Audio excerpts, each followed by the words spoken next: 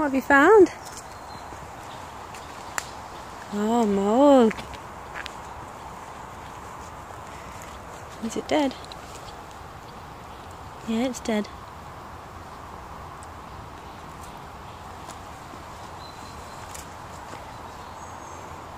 What are you going to do?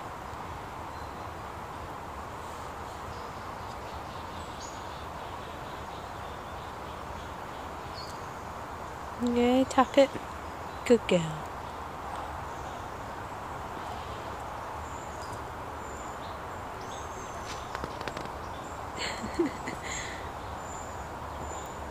Come on then.